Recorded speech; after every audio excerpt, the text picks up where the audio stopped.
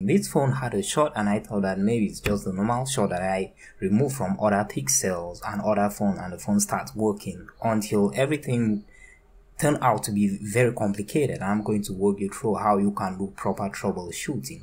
So what's the first thing I did? After dismantling the phone, I set my multimeter to continuity test mode. I test the diode reading of the battery connector. That's a, a, a good reading for the VBAT line. 337 was that it?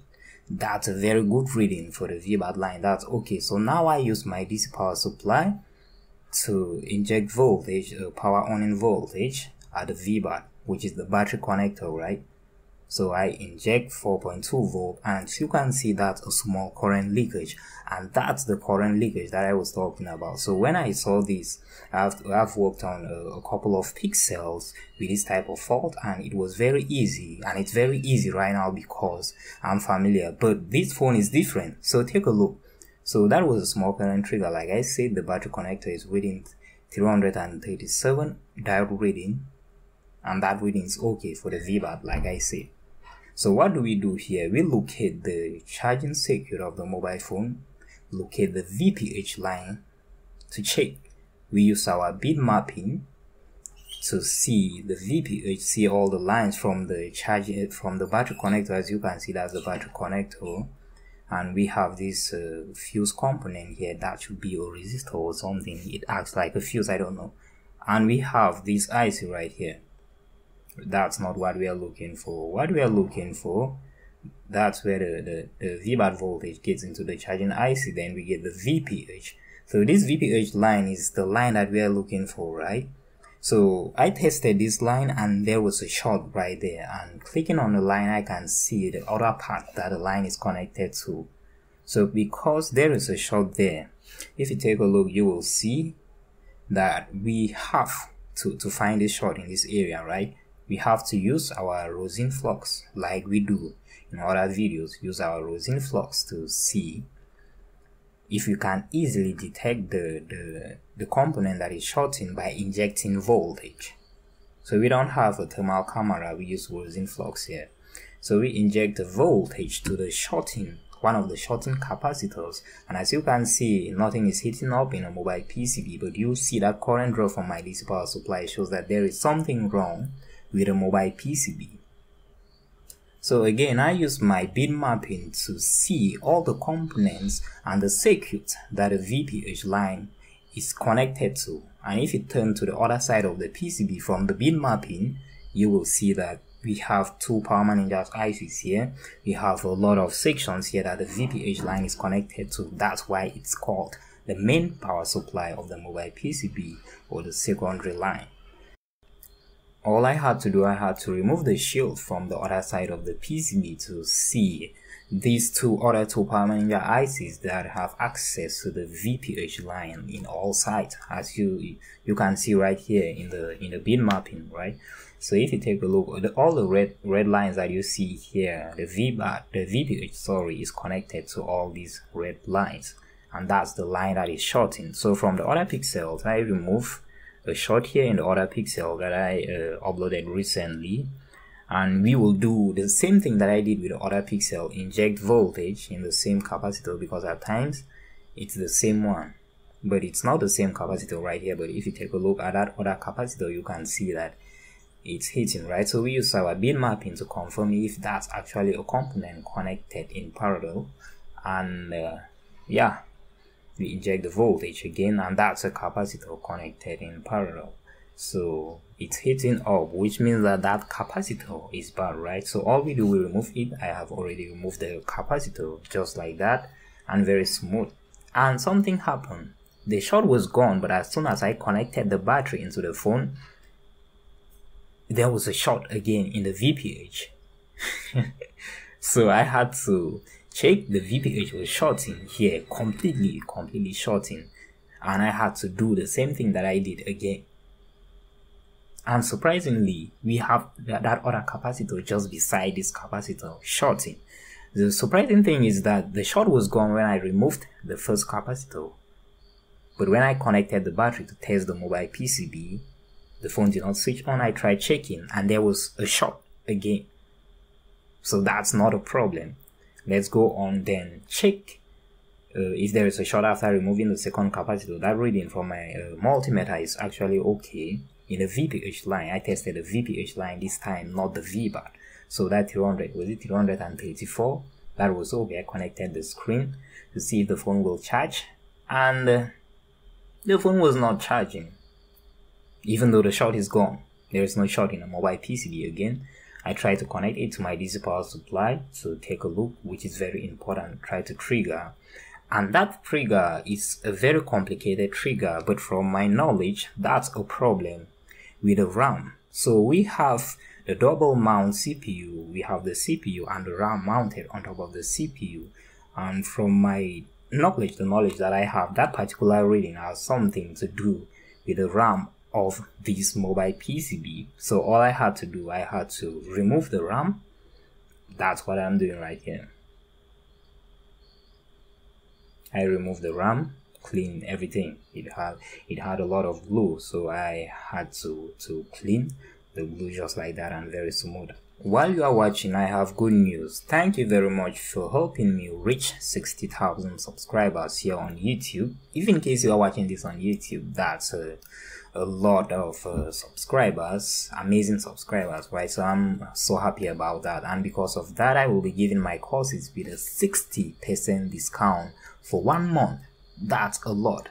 So you will get my courses right now with a 60 percent discount. That discount will be available for one month. So yeah i think no one will want to miss this because you learn everything like this from my professional level course how i get to know if i have to do this or that so let's continue here. Well, if you want the courses, if you want these courses or my book, The Block Diagram Master, send me a message on WhatsApp using the number right here on the screen. So let's go on. So as you can see, I'm cleaning the glue from the IC itself, which is the RAM. So I did not remove the CPU of this mobile phone. So I'm just uh, working on the RAM and what I want to do, I want to reball the RAM. If you are wondering how I get to decide if the RAM was the, the problem causing that particular reading from my DC power supply, it's very hard, but with the knowledge, you will get to know this. With the knowledge and the experience after working on uh, chip level components like the CPU, the RAM, the eMMC, you will be able to know that. And also you'll learn about DC power supply reading from my courses and my book, The Block Diagram Master. So that's the the RAM right there. I just created the solder balls and now I want to mount the RAM on top of the CPU so keep in mind again I did not reball the CPU but if you have enough time you should do do it so we do this based on how much we are being paid. You get so I just mount the RAM right there. Just mount it hit it just like that and very smooth. So